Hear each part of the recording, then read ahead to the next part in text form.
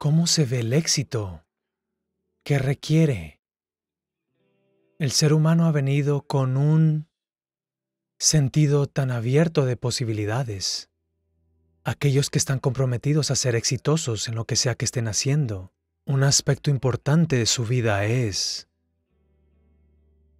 Eso es lo que te lleva a cruzar tantas líneas en nuestra vida, tantas barreras en nuestra vida.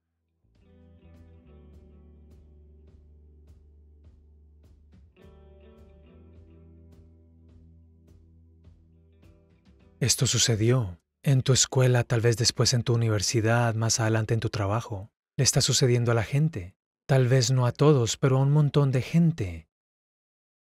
Su compromiso con el éxito es débil. Quieren tener éxito, darán tres pasos. Luego ocurre algo un poco interesante aquí, se irán por aquí, se irán por allá, se irán por allá. Oye, quiero vivir, ¿ah?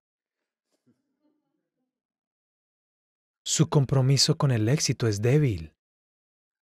O bien las situaciones a su alrededor, de alguna manera. Ya sabes, las situaciones pueden impedirte hacer lo que estás haciendo muy fácilmente, muchas veces le pasa a todo el mundo. Pero, cuando esto sucede, la gente debilita su compromiso con su éxito. Tal vez físicamente se sienten un poco débiles. Debilitarán su compromiso con el éxito. Tal vez sus emociones se agitan un poco, debilitarán su compromiso con el éxito. Esto es muy importante ahora mismo. No importa el tiempo que tome este virus. Debes salir de esto exitosamente. Eso significa que debes mantenerte con vida, esa es una parte importante. Y el compromiso de mantenerse vivo. No debe flaquear, no importa lo que haya pasado. Alguien muy querido para nosotros falleció. Es aún más importante que vivamos. ¿Mm? La gente que nos rodea está enferma, tanto más importante que estemos sanos para cuidar de la gente que nos rodea. Entonces nuestro compromiso con el éxito no debe debilitarse, porque esté sucediendo un drama social o un drama fisiológico o un drama psicológico, pase lo que pase, tu compromiso con el éxito no debe debilitarse.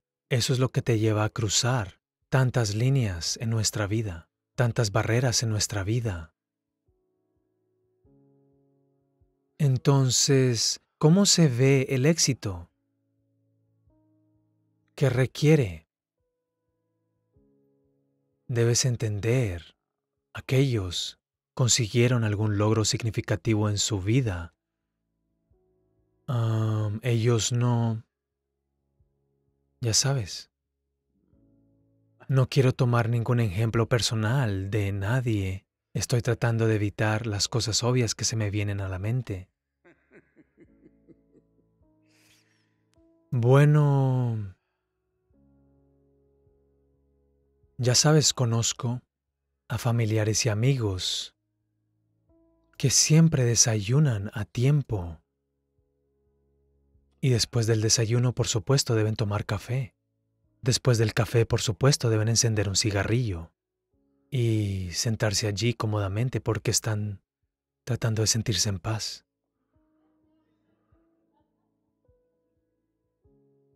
Y luego irán a trabajar. Volverán a casa exactamente a tiempo para el almuerzo. Almorzarán Descansarán una o dos horas, dormirán. Luego por la noche toman un té y luego fuman y luego otra vez van a trabajar.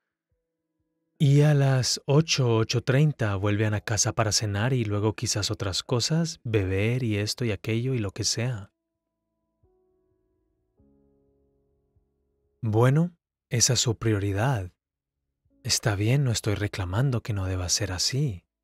Pero aquellos que han tenido mucho éxito, ya sea en la música, el deporte, el arte, los negocios, el proceso espiritual, no importa qué. Esas personas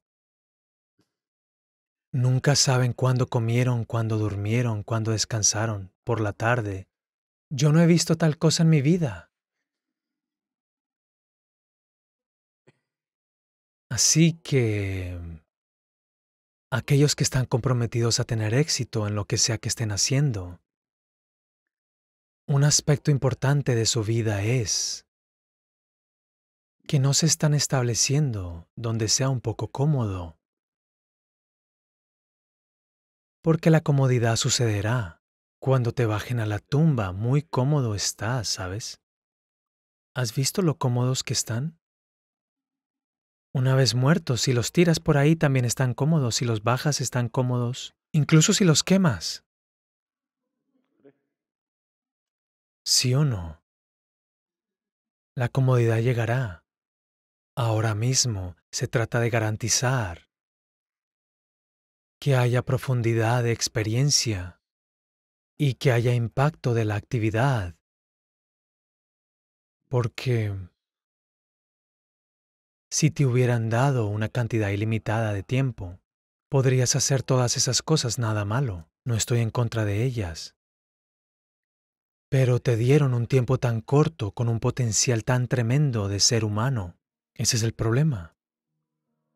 Si la creación te hubiera hecho como una lombriz de tierra, no digo que hay algo malo con una lombriz de tierra, es solo que es un potencial unipolar, solo eso puede hacer. Una lombriz de tierra no piensa en subirse a un árbol, porque sabe que la atraparán los pájaros, nunca tiene esas aspiraciones. Solo quiere reciclar la tierra. Ya sabes, es beneficiosa para tantas otras vidas, incluidos nosotros. Pero su objetivo es muy claro, comer, reproducirse y morir. Objetivos muy claros. Ese objetivo para cumplirlo ella se esfuerza. No creo que haga siesta por la tarde. No lo creo porque muchas tardes he visto lombrices de tierra, todas estaban vigorosamente activas. Pero un ser humano vino con demasiados potenciales. Por eso, se necesita un cierto nivel de esfuerzo para que un ser humano se... Olvídate del mundo para que tú te consideres exitoso. Si tu idea de éxito es que te está yendo un poco mejor que a tu vecino, yo llamo a eso enfermedad. Eso no es éxito. Te alegras de que tu vecino esté peor que tú. ¿Es eso enfermedad o éxito? Es enfermedad. Pero, de alguna manera tú te sientes satisfecho con lo que estás haciendo. Consideremos eso como éxito por ahora. No importa si eres mejor que alguien o peor que alguien, esa pregunta ni siquiera debería surgir en tu mente.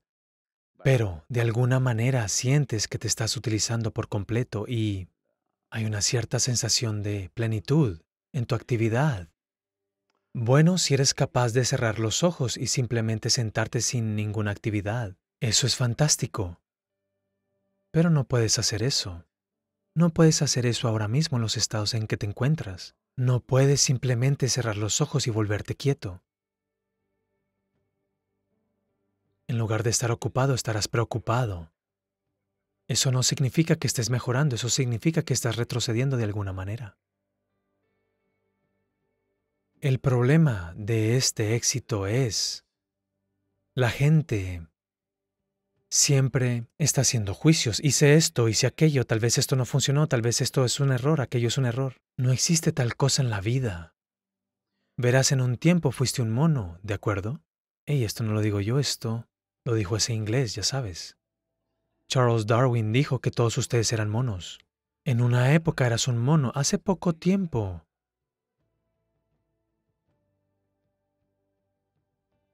¿Fue un error? Cometiste que fueras un mono?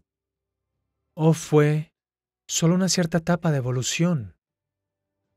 ¿Fue un error? ¿O fue solo una cierta etapa de evolución?